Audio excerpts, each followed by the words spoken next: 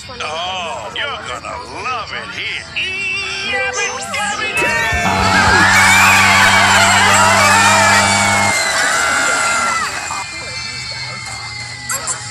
Yeah, but I mean, that's not their fault that they don't they don't prefer to listen to that genre of music. No, I know. I just thought it was funny.